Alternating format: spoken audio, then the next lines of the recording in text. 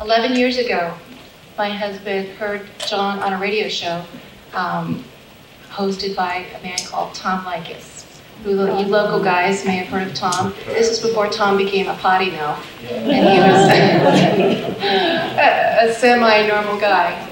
And John, uh, Jeff heard John on the radio. We were not married at the time, and he um, said, "Gosh, Sabrina, you can't believe this guy. He was so great. You know, he went out and got the book. He read the book really fast, like within a couple of days. Then he gave it to me. So he, Jeff, Jeff became a vegetarian first, two days before I did. But it took Jeff the whole book to become a vegetarian. I was vegetarian by the second chapter. I didn't even need to finish the book to become a vegetarian. One of the things that really touched me in John's book was the story he told about chickens. And it reminded me when I was a child, I had pet chickens. And these chickens were enormously friendly, intelligent, affectionate animals.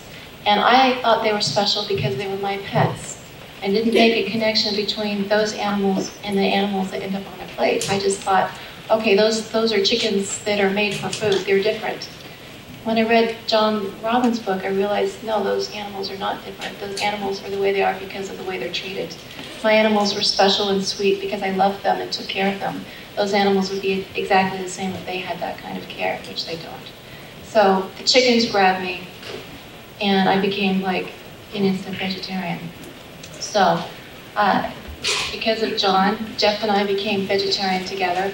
Our children are vegans, and many of our friends have become vegetarian. When we started VegSource five years ago, we didn't know John or his family, but we dedicated it to John Robbins because we felt such a debt of gratitude to him for bringing us into this really wonderful lifestyle. And we called John the prophet.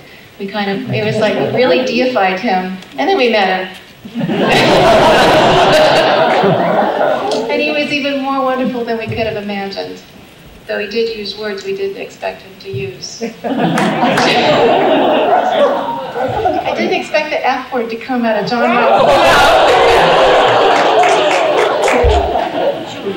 anyway, John we called him the prophet, and we, and frankly, we did see him as this very kind of Gandhi-like creature. John in person is a very earthy, friendly, very funny guy, which you'll find out when you hear him speak. And his, uh, he's actually just recently become a grandfather also. And he has a, two adorable little twin babies. I also have twins, so it's kind of like we have a shared connection, twin connection there.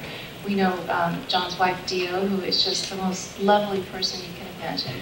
And his son, Ocean, and um, Michelle, his wife, are just the sweetest, the sweetest people. I mean, you can, you can see um, with the, the life they have that Ocean and Michelle had that they are really a tribute to John and Deo. Anyway, so Diet for a New America is just enormously inspiring book. And it's like you read it, you're going to be a vegetarian. It took John McDougall to turn me into a, a vegan, but John, John Robbins turned me into a vegetarian. So here we are today, 2001, and John has written a new book called The Food Revolution, which really is a sort of a sequel to Diet for a New America. And it's very, very hard hitting, and it's just so chock full of information. It's just an astounding book. So um, John Robbins to us, uh, he is just a personal hero, and we just really love him and his family. And we're so thankful that they came here this weekend. Um, without further ado, I'd like to introduce to you our friend, John Robbins.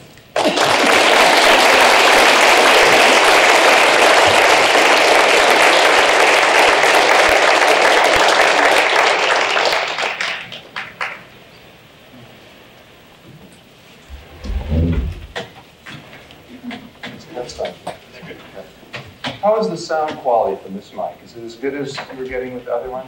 Yeah. Okay. It's louder? You want it louder? You want it louder. It's good. Okay. Uh, how's that? Is that loud enough in the back? A little bit louder for the person in the very back. Now it's too loud for you, right? So we'll get it. Thank you. Too loud, I get feedback. Yeah. With this. Well, it's good to see you. Good to see you. How are you feeling? Let me hear a couple of words. Just one word how you're feeling from a few people. Just say it. Great. Great? Yes. Amazed? Inspired? Rejuvenated. encouraged, rejuvenated. What was that? Validate. Cold. Cold, yeah. How can we be cold? The air conditioning is up, right? Could we turn it down? Is that possible? Does does anyone in the room have control of that? Not that cold. Not that, not that. You want it down, John? You want it- Yeah, yeah. A few other words for how you're feeling tonight. I want to get, I want to feel where you are. Wonderful. Wonderful, stuffed, Change. changed, Validate. validated, validated, Inspired. inspired, Optimistic. Optimistic. You're a really depressed group. This is what happens. This is what happens when you tune your life, isn't it? You know, you start to live in accord with natural law, and natural principles, and the wisdom of creation itself. You know, It- it- these you, you get these afflictions of joy and creativity, and uh, you, you, you could. I actually was on a, a television show recently in Los Angeles, and they, they, the guy asked me, well, what are the downsides of a plant-based diet? What are, what are the problems? What are the side effects? and, and I said, well, you, you could possibly just come up with just bouts, episodes, you know, of, of joy, happiness, vibrant ecstasy. I, you know, it's, it's, but he, he saw it that way. He wanted to know what the side effects were. So used to medical treatments, which typically do, of course, convey side effects. I have learned that MD does not stand for medical deity. Um, though some of us have been cultured, enculturated to, to, to see a white coat and, and supplicate ourselves um, and give our power away in that sense to a, a technology or a system. And that's one of the reasons I, I really am proud and, and feel honored to be on the same podium in a sense as Dr. McDougall, uh, as, as uh, Colin Campbell, um, because these are people who are using um, Western science and Western medicine, uh, you know, in the service not of the system itself, but in the service of health. And truly teaching the, the skills and the arts of prevention, preventing disease by building health in the first place. And, and we're all very lucky and fortunate uh, to have access in our lives and contact in our lives with such people because what they bring, the gifts that they share, um, should never be underestimated, the value of them. Sometimes it's only when we lose our health that we finally grasp the importance of it. And then sometimes it's a little late to take the steps to regain it. But why should we wait till then to do the things that bring us connection to our, our hearts and our souls and the, the vibrancy of our bodies and the, the well being of every cell in our bodies, personally and collectively? Why should we wait for that? You know, maybe we're the ones we're waiting for. And we don't have to wait any longer we can take the responsibility for who we really are and the magnificence within us and the beautiful consequences of doing that. One of the things that I've found so marvelous is that the, the same food choices that Dr. McDougall is talking about and has been talking about for years, and that he's been using at his clinics to help people regain their health at extraordinary levels without using drugs. The same food choices that Dean Ornish has been using as, the, as a pivotal piece in his program, taking people with advanced stages of cardiovascular disease, people who in many cases are too ill for bypass surgery, people who have severe angina, and reversing the disease, not just arresting its progress, which would be already marvelous enough, but actually reversing it through lifestyle choices, the centerpiece of which is this, this kind of food choices. And then, and what's amazing to me is that these same food choices that, that are so much, that, that do so many wonderful things for our bodies, both in preventing disease and if one is already ill in, in, in serving to help treat them and reverse them in many cases.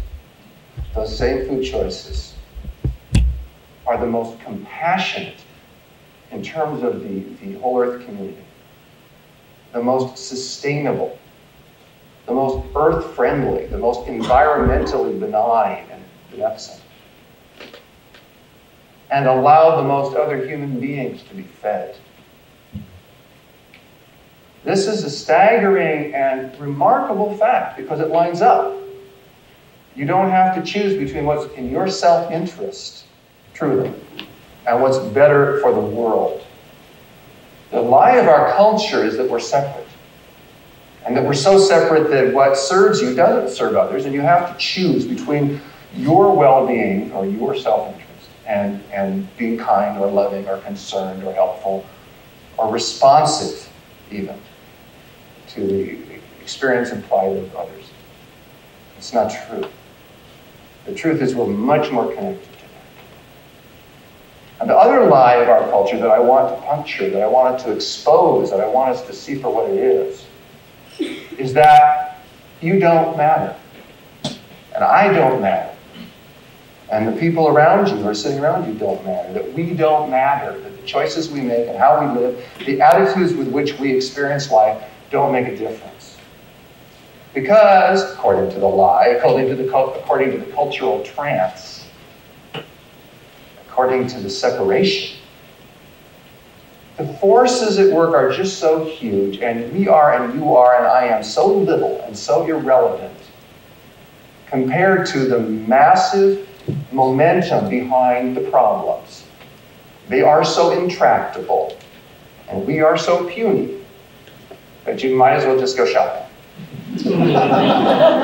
That's the lie. It always matters who you are. It always matters the choices you make. Whether you lash out in anger or reach out in friendship, it makes a difference. It makes the difference. And whether you choose to live in a way that's dishonoring of the, the brilliance within you, or choose to live in a way that expresses your, your unique genius and the gifts that you have, that you bring, your particular talents, your particular heart, makes huge difference. And as the years go by, these two paths become increasingly divergent, and one leads to a, a life of passive resignation and defeatism and cynicism and bitterness and hopelessness and all of that that we see in spades around us in a culture that has bought into that lie. But the other path leads to something very different, something very much more joyful, and it, and it, it partakes of the sacred. It really does bespeak reverence for life itself, the gift of life.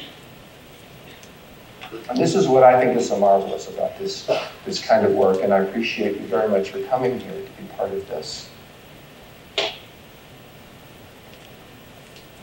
In the last, um, when I wrote Diet for, how many of you, by the way, have read Diet for New America? How many of you have read The Food Revolution? When I wrote for New America, in the, in the ensuing five years after its publication, beef consumption in the United States dropped 20%.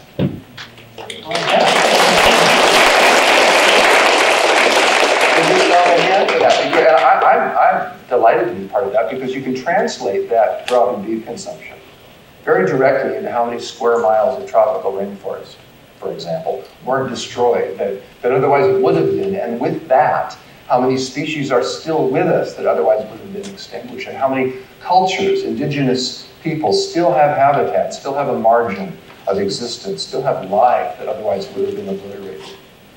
You can translate that into how many fewer heart attacks have occurred in this country, how many fewer cases of cancer, how many fewer strokes, how much less suffering there is than there would have been otherwise. You can translate that into how much less polluted our water and air is and how many fewer animals had to suffer the obscene conditions of factory farm animal factories and feedlots and the, the inhumane slaughter that is institutionalized in our meatpacking.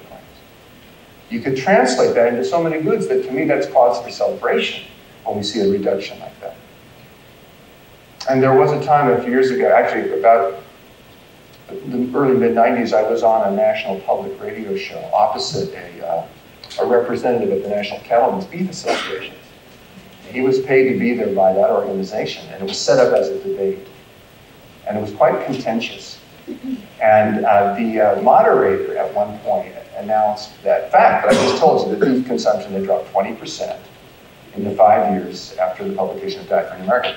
And the, my adversary uh, pointed at me at that point and screwed his face and said, It's his fault.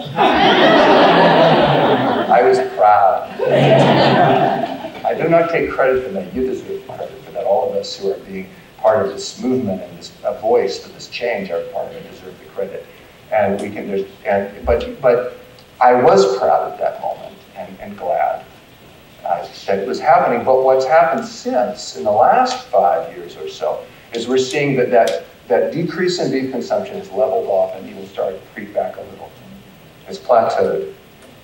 And you know what I'm talking about. You're seeing the, the, the Atkins diet being so popular. I know that John McDougall talked about that earlier. And, and we're seeing this kind of backlash in the culture, which is one of the reasons I wrote The Food Revolution, because it's time to put a stop to that backlash and reverse that, that uh, indulgent course um, because so much depends upon it. The health of our, of our children and, and the viability of the biosphere itself. And whether or not we can say we're creating a world that reflects the aspirations and caring in our hearts. Because if we're living a life that doesn't reflect our love, then I think we're, we're out of touch with ourselves. And I think that is what breeds violence. That is what creates the soil in which a psychotic madman can take root and grow. And the, the importance today, as, as never before, of learning to live with respect for life, with, with, in a nonviolent way, with a ahimsa, with reverence and respect and appreciation for the opportunities life brings to us, and for each and every soul that we encounter, and for the, the beauty and the love within ourselves, and how that, that love and that need for expression of that love meets the world's needs. It's never been greater than that. Where does it, how do we learn nonviolence? How do we live nonviolence? How do we teach nonviolence? By the very way we breathe and live and practice our lives. It, it has to take place in our lives, not just our words. It's not just about saying nice words. I, I have people who have said to me at times, well, I can eat meat, it's fine because I, I pray over the meat. I bless it. Now, I, I love prayer. I, I, love giving voice to, and, and I love what others do, to, to the, the deepest aspirations of our, that live in our hearts. I think that's wonderful. At the same time, though, if your life isn't a statement of what's living in your heart, then to me, that's a problem, that's a wound that needs to be addressed for us to be whole. And so to me, to take it, the, the, the corpse of an animal that's been treated the way are treated, the way livestock are treated in today's factory farms and, and feedlots and slaughterhouses, deprived of all, of virtually everything it needs for even the basic decency of a life. Uh, in many cases, put into a living condition a cage or a confinement situation, barely larger than the size of its own body, immobilized for its entire life, virtually, and in some cases, literally. And then killed with a, in an assembly line of institutionalized death that makes no effort to, to, to uh, reduce the animal's pain or suffering, unless it's profitable to do so. And then to take that flesh of that animal and think you're blessing that spirit of that creature I just don't think the animal's all that appreciative. you know, I know. And furthermore, what about the rainforests that are being cut down? You know, what about the, the, the uh, pollution water pollution, the air pollution that's ensuing from our factory farms. So much of that is preventable. So much of that is needless and not, and it's not something we don't need to contribute to in our lives. And now there's another uh, factor that's part of the stew, part of the realities of our food choices and our, our way that we're producing our food and distributing it in this country particularly. That's genetic engineering. And I want to talk to you a little bit about that because it's a real big issue. And unfortunately, Dennis Kucinich, the congressman from Cleveland, isn't going to be with us uh, this weekend, but it, it had been hoped that he would be, and expected actually up until yesterday that he would. And Dennis is uh, a good friend of mine and of ours, really, and he has been for the last three years introducing in the House uh, legislation to require the labeling of genetically engineered food. And in the Senate, corresponding legislation has been being introduced by the senator from this state, Barbara Boxer. And each succeeding uh, session, these bills have gotten more and more co-sponsors, which is the way you, mark the development towards passage, and that's a wonderful thing. And I want to tell you why I think that's so important. It goes quite beyond informed consumer choice, although that alone would be sufficient. But what is happening in, gene- in what are what are we genetically engineering foods for? Why is it being done? The PR tells the public, and I'm sure you've been exposed to this, that it's being done to produce foods with higher nutrient levels or to feed the hungry. Have you seen ads saying that? The Biotechnology Industry Organization, BIO, has right now uh, in operation a $50 million publicity campaign, PR campaign, to convince the American public of that. That if you are standing in the way of genetic engineering, if you're requiring labeling or want to see labeling, for example, you are an enemy to the world's hungry because this is our best hope to, to uh, increase yields. This is what, what the um, PR said. Well, if you were in fact uh, genetically engineering seeds to produce crops that were, and your effort was to respond to world hunger, there's certain characteristics you would predictably be seeking to evoke or develop in your plants. The ability to produce greater yields, for example. Uh, to grow in marginal soils, perhaps to tolerate, to tolerate, dr- tolerate drought better, or saline conditions, more alkaline soils, or more acidic soils, a greater range of soil conditions. To grow uh, uh, and, and prosper without expensive inputs, such as large-scale irrigation schemes or um, massive inputs of uh, synthetic fertilizers, because those are costly and those are in short supply, of course, in those parts of the world where uh, poverty is greater and where hunger is greater. These are the characteristics that you would be obviously seeking to develop. The reality is that of the now 100 million acres growing genetically engineered food in the world today, not even a quarter of 1% of that acreage, if that, is, growing crops with any of those characteristics. What has been developed, 70% of the 100 million acres, 70% of the genetically engineered or transgenic acreage in the world today is growing crops that have been engineered to tolerate massive and sustained oversprayings of herbicides, particularly Roundup. That's Monsanto's proprietary best-selling herbicide. They are called Roundup-ready crops, particularly soybeans and canola, but also cotton and corn. Roundup-ready soybeans now dominate the U.S. soybean crop, 70% or so. 65% of our soybean crop is Roundup ready. It's Monsanto's genetically engineered soybean. So if you're going to get soybean uh, foods, foods containing soy, unless it's organic or specifically non-GMO, it's guaranteed to contain genetically modified substances today. The Roundup ready soybeans get lower yields, significantly lower yields than conventional soybeans. But you can spray them. Once the plant is already growing, you can still fly over it with a crop duster and and spray Roundup. And it will kill every green plant down there by um, al- altering the, and uh, disrupting the uh, photosynthesis of the plant. But it won't, won't kill the Roundup Ready soybean. So this is what they're doing. And that's 70% of, of our, of our genetically engineered acreage of 100 million acres. Uh, 25% are growing crops that produce pesticides in every cell of the plant throughout its entire life cycle.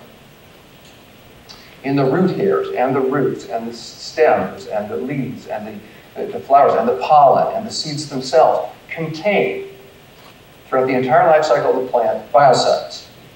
Now, this is particularly done with corn and cotton because the, the caterpillars, the corn borer and the, the cotton weevil, tend to munch on the, the leaves of these plants. And so this way, they munch, they die. And the, the growers think that's great. And um, this is why it's being done. But it's also, as I mentioned, in every cell of the plant, and that includes the part that people eat.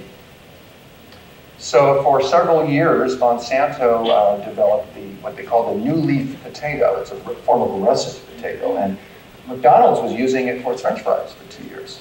Burger King was also for about a year and three quarters. They don't do that anymore, and I'll tell you why in a moment. But this was a potato that was engineered to produce a pesticide in, in every cell of the plant, including the, the, the potato itself. The potato was so suffused with this pesticide that it literally had to be registered with the EPA as a pesticide itself. But McDonald's was using it in its french fries and Burger King without telling the public because we don't have labeling.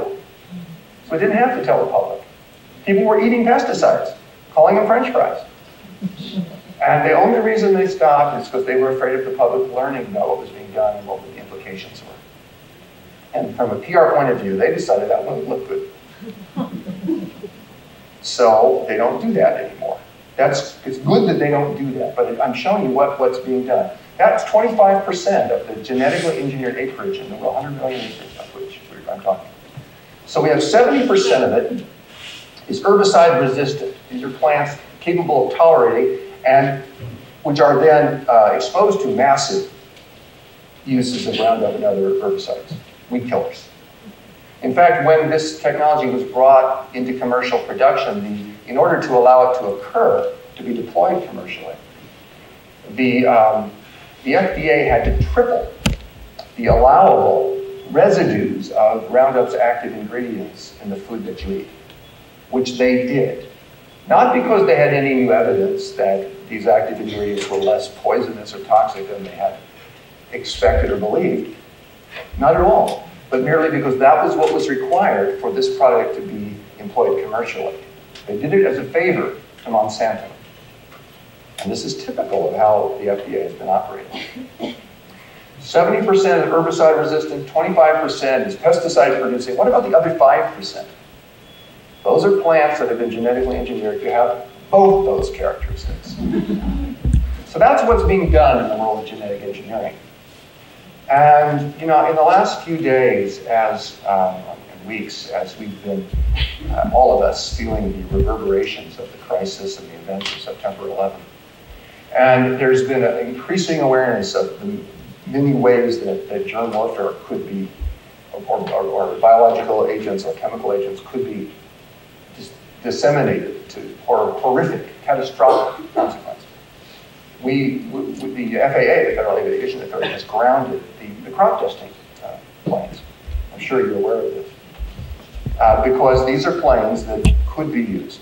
They are, in any event, used to spray fields with uh, primarily herbicides, fungicides, insecticides, mildewcides, a host of biocides, poisons, all of them, onto our food.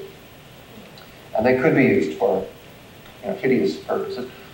What I would like to ask you is, do you see any reason or sanity in grounding them permanently and switching to organic agriculture?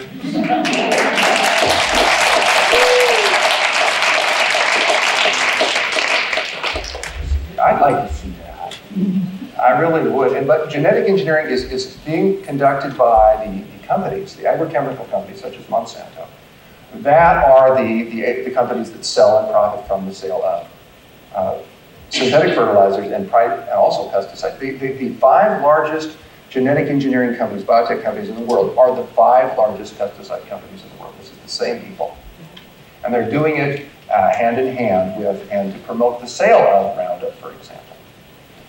Um, meanwhile, the techniques that they're developing, because these companies are spending many, many hundreds of millions of dollars annually on research and development of genetic engineering. Uh, they, they, they spent nearly a billion Monsanto to developing the Roundup Ready technology. Um, this is a lot of money, a lot of a lot of genius, frankly, a lot of human genius is going into this, a lot of research time and, and money, labor, to develop the technology to enable us to have the ability to alter and manipulate genomes uh, with increasing sophistication uh, and increasing ability to exploit and control. As they are developing these abilities, we collectively are becoming more capable of altering the genomes of bacteria, uh, viruses, of plants, seeds, of human beings and other animals. That same technology in the wrong hands can be used, and I assure you is under, there are people trying to use them today, to alter the um, genomes of specific pathogenic bacteria to enable them to be weaponized. In, in the times past, anthrax um, and so forth, these pathogenic microbes, spores, it was very difficult to disseminate them, to disperse them uh, in any, with any control at all. But by, through genetic engineering, the ability to manufacture a, a weapon out of them is increasing. So this, to me, is another reason to stop the genetic engineering companies right now. And if we get labeling, we will stop them. Because people won't buy it. And they know it, which is why they're fighting labeling. Because, you know, labeling is just, I mean, we label everything in the, pretty much. And, you know, it tells you how much salt, salt is in everything you buy, every packaged food, doesn't it? But the, the, the, the natural design has been altered. That, that's, we don't need to talk about. you know, so I, to me, there's just all these implications. You see the way that our, our lives interweave with the greater planetary destiny in so many ways. If you look, you see the dimensionality of things. Life takes on a richness and an importance that it really does have and contain. And the choices that we make individually and collectively. And the choices that we make collectively are the product of the choices that we make individually. To me, the, the, the, um, the front line of the, the, the effort and the struggle for a sustainable and just and, and uh, thriving world for all, the front lines of the human heart. And you can say, well, well, why, how can what takes place in my heart, in my little life, affect these great problems? And the answer is because we are connected. Because that line of separation doesn't hold. It's just an illusion. And it doesn't honor the truth. We are part of each other's hearts and dreams and needs in ways that the separate thinking of our culture doesn't recognize, it doesn't enable us to appreciate. But it is true. It is the basic fact of our existence. And when we learn to live from that and take responsibility for our part in that, something beautiful starts to take place. And this is what, what is so crucial that we know and appreciate in each other, that we, that we, we appreciate the, the little steps that people around us are taking. They may not be the steps that are larger as you would like them to take. You know, you would like them to become a vegetarian. They're just. I had someone say to me, "I read Diet for New America. I've cut down on the amount of bacon I eat every day." you know, I, I, there's a part of me that is that all? but you know, if you if we can't recognize and appreciate each other for the positive steps we take, where are we? So I said, "That's great." That's great. And the guy smiled, and we had a connection. And who knows down the line where that step will lead that person. Whereas if we put a, if we say, no, no, that's, well, you, you have to become a vegan. You mean you still eat honey? It's like, how, how are we gonna, you know, we, we have to welcome people. It's really important. And, and one of the uh, things that I think is really important for the people in this movement to, to uh, keep in our awareness about this is that what is happening, what we are doing is we're finding our voice, uh, each of us. And by our voice, I don't mean just the words we speak, though that's certainly included, but the way we live as a statement. Political statement, a spiritual statement, uh, and, and finding our voice, finding our expression of, of who we truly are and what we are becoming together is a powerful thing. And as it happens, we will not all sing the same note. This is very important. Harmony is developing because we're not singing the same note. And uh, we need to listen to each other so we can be in harmony. But we do not ask that the other person do exactly what we do or think exactly the same way. Some of us will be vegan, some of us will eat more raw food, some of us will be more macrobiotic and, and be inclined to eat more cooked food. Some of us won't be vegan, some of us will take smaller steps. But the movement to a sustainable world, the movement to a humane way of life, the movement to a compassionate statement is something we can celebrate in all of its forms, and we need to. Because we're that big a movement, because our hearts are that inclusive, and because that's where we build coalitions and develop the strength to have the kind of effects that we want to have. So I welcome every step, including this guy who said, you know, I cut down my bacon a little bit. That's good. That's good. Maybe tomorrow another, you know, another step. You know, and maybe I sometimes say, to people, well, that, that is great. That that's like cutting down smoking from two packs a day to one pack a day. That, that's a good thing. That's a you, know, and I hope that you know together we can cross another bridge. You know. But I don't want to. I want there to be these bridges. I really do. And, and, and the, the, one of the, the reason I'm saying this to you and want to, and kind of coming back to it is that I feel this is a, um,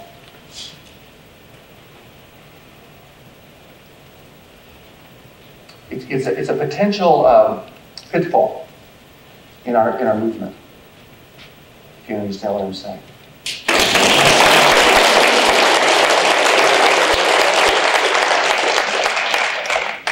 Thank you. John, I know this can be a a sensitive area, but I was wondering what the impact is of carnivorous pets on total meat consumption in our country. I don't see data. Yeah, yeah. And what can be done either to. He's asking about carnivorous pets and the impacts there. Dogs and cats are different. Dogs are much more omnivorous. They actually are uh, omnivores. And to, to have a vegetarian or vegan dog is actually quite possible if you work at it a little bit. We, we did it for years. We had a dog, or, you know, and, and many years ago. And uh, I know a lot of people who've been very successful uh, with dogs, and they're very healthy. The dogs are very healthy uh, without feeding them meat. Cats are much harder. Uh, they're much more carnivorous creatures and are much harder. There are people who've had success with Veggie Cat and other supplements. There's a woman in New York, um, Sharon um, Jivamukti Yoga Center. She runs uh, Sharon. Um, forget about it, but she's she's got a whole book out about it, and she's you have a bunch of cats. And I think, Holly, have you done that with your cats? It didn't work. Didn't work. No, they were not healthy. They were not healthy. So cats are much harder, uh, particularly older cats are harder to make the transition. Um, you know, it's not a perfect world, and we do the best we can. I, sometimes people say to me, well, it, I had a friend say, gosh, if everyone was vegan, we wouldn't have this problem with Bin Laden and everything. And I, you know, I, I, if everyone was vegetarian, I don't think it would be a perfect world. Would be a better world. It, it would be a much better world. But we go as we go. And uh, there are a lot of uh, challenges. The love that people get in their lives from companion animals uh, can make all the difference in people's lives. And I really honor that, appreciate that. Um, in our family, we, we have a cat. Actually, it would be more accurate to say he has us. he has us trained. We feed him, we pet him, we do everything for him. I don't quite see why we think we have him. The he decides where everybody sits. He decides who gets up, wakes up when. Uh, oh, completely. But um, and we feed him uh, food, uh, you know, commercial cat food. Although we also give him a lot of vegetables that we cook and make up for him and so on. And it's a trade-off. You know, I, I am sorry to say that there's products of slaughterhouses in that in that uh. I know that. Better to at least know it than to pretend otherwise. Uh, and then we do the best we can.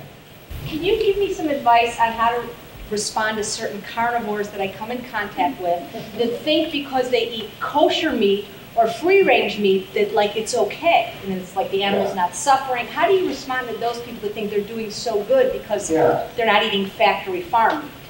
Well, someone is eating truly free-range animal products, I do think that is a step, like I was talking about the person eating less big, I think it is a positive step. I want to acknowledge, I'm not going to antagonize that.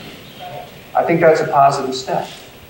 There is less suffering involved in that. Um, and it's, it's a healthier thing for that matter too. Free-range animal products contain more omega-3 fatty acids, significantly more. But you know, the question I'm always asking is, how do you honor the heart? The, the heart. The great heart, the common heart, the heart that's given, the heart that's given birth to us in the first place, from which we draw everything good in ourselves. And how do we live in a way that, that builds that strength and that, that, that type of energy in our lives? And I just ask people, how, how, how is, is this doing that for you? And I don't, I don't set it up as a, an argument. I don't try to argue with these people. I thank them. I say, and you know what else? You can be even healthier without that. That's what the data show. That's not just my opinion. That's the results of the most exhaustive medical research, the most scrupulous research.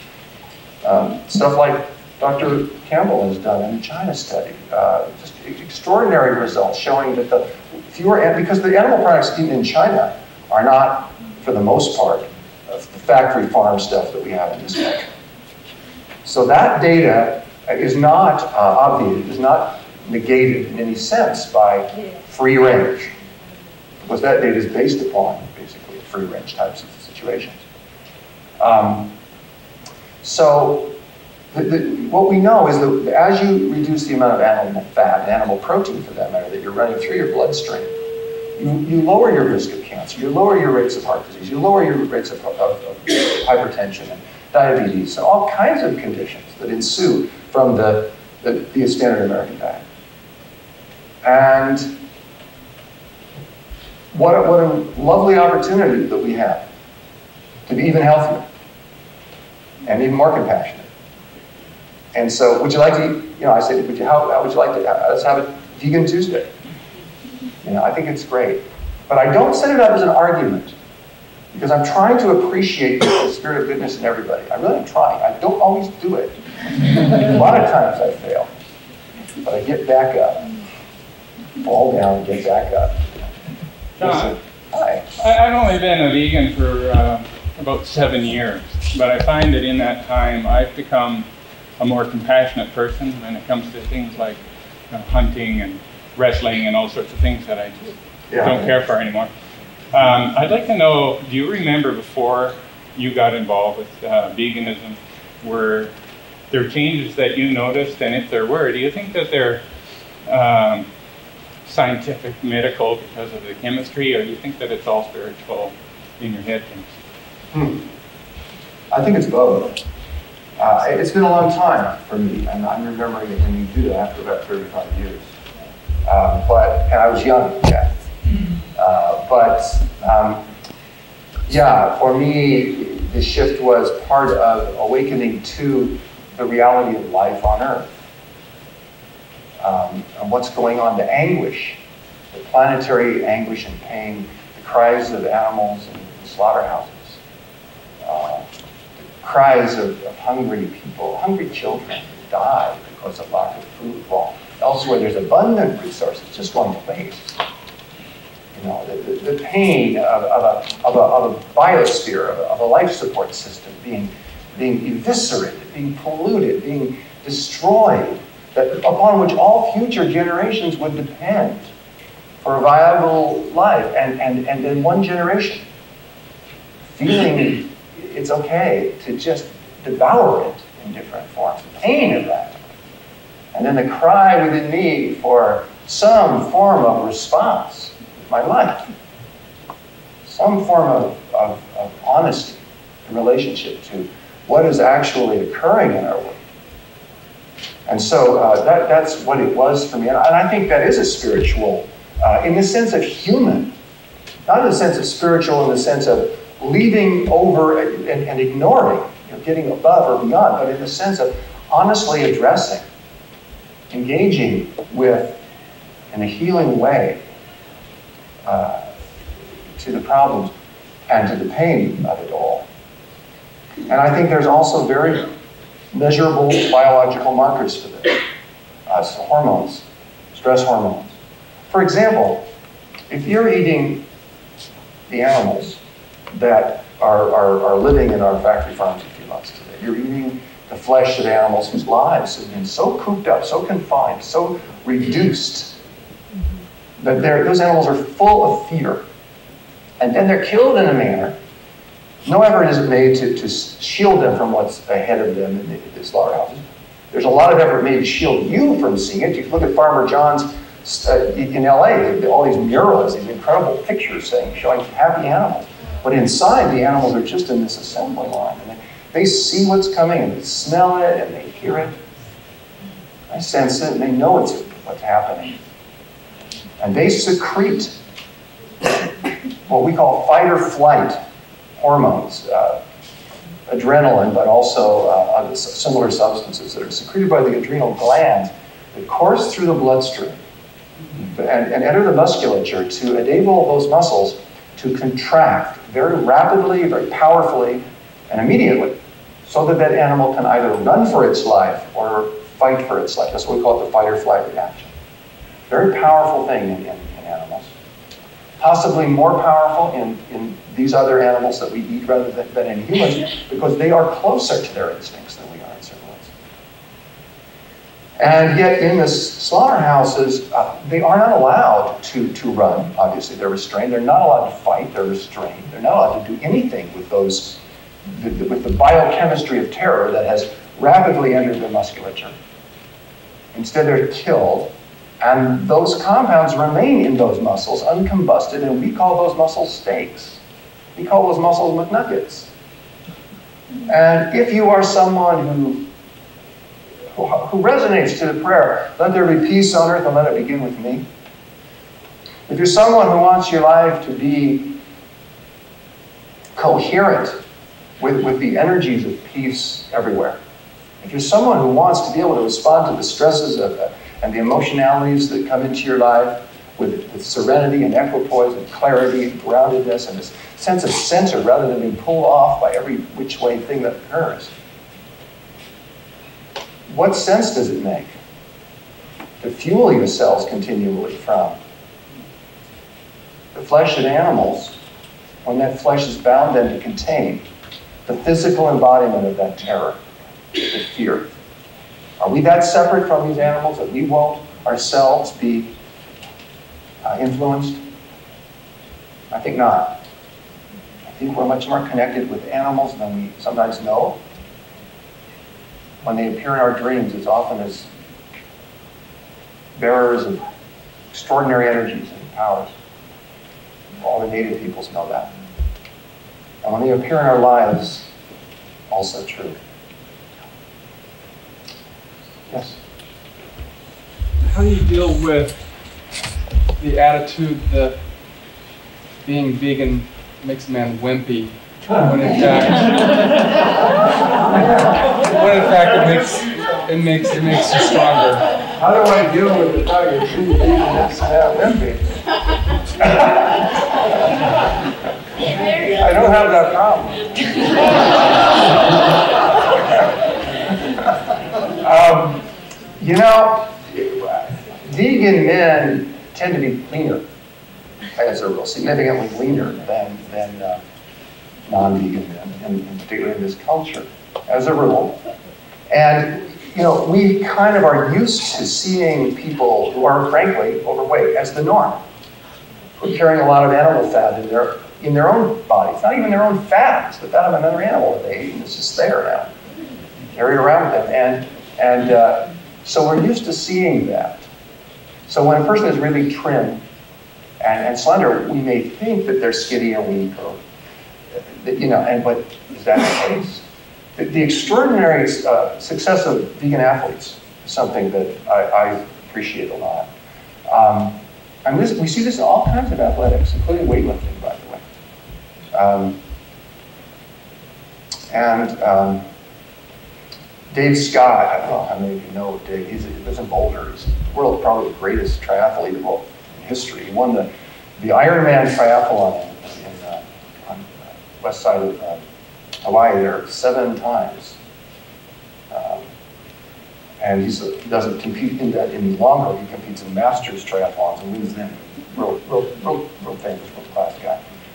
And I don't know, when Barry Sears wrote um, The Zone, I, I, I bet you John people talked about Barry Sears. so I don't have to do that. But I'll tell you one piece of it that I doubt John said, although maybe he did. But, and that is that when Sears talks about um, his diet, how great it is, he, he talks about Dave Scott and says that Dave Scott, you know, that Dave Scott's magnificent uh, uh, accomplishments, which are a matter of public record, uh, prove that his diet is so great because Dave Scott follows his diet. And I, I read that and I thought, that doesn't, don't, I know Dave. He's been in my house. We've talked time and time again. Never heard you mention anything about that. So I called Dave up and I said, Dave, you know, I'm very serious since. He says, I know. He says, I hate it. Says, it's the biggest lie I've ever heard. I said, well, you mean, how can he say that if it isn't true? He says, that's what I like to know. So I've never even read the guy's books. I don't even know what his diet really is. I don't, I, I don't agree with any of the points he's making, as far as I understand them. Never followed his diet, and I wouldn't be interested in trying. So I'm proud of being in your book, he said, but I don't want to be in Barry Sears' book. I said, well, have you ever tried to communicate with Barry Sears about this? Have you ever met him? Where did he get this idea? He says, I don't know where he got the idea. I did appear with him once at some conference, and I shook his hand. and he says, but I've been trying to get him to, to, to, not say this for years. I have written him, I have called him, and I have emailed him, and he hasn't replied or responded. I said, Dave, would it be all right with you if I mentioned this in the food revolution? Look, I'm working on it. He said, please do. I are you, know, and then I said, okay. And so then, but then when I, after the galleys we did, I wanted to check in with Dave again. I called him up and I said, okay, here's what I wrote, Dave. I quoted you know, everything I just told you. He said, great. I said, you sure you want this out there? Oh, absolutely. He said, I've been trying to get this guy to stop doing this for years. Dave Scott, you know, is doing okay physically. He's not what I would call a wimp. Now, I don't know how many vegans you're going to see on WWF. but that's maybe a good thing. There aren't going to be too many vegans playing NFL football, probably, or, you know. But there is one, a heavy, not a heavyweight, I think he's a middleweight boxer, world champion boxer, Keith Holmes. Keith Holmes, yeah. Yeah.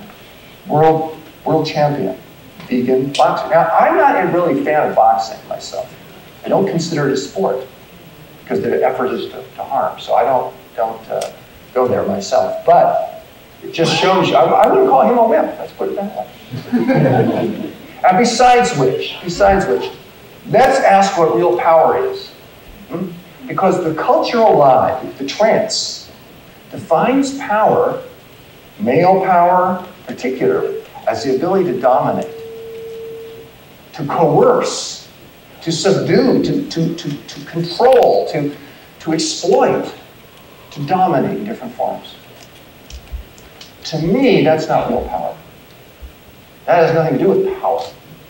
To me, what power is, power is the ability to bring forth life to respond to and nurture life, to bring out the best in each other, to cooperate, to liberate, to befriend, to nurture. That's power.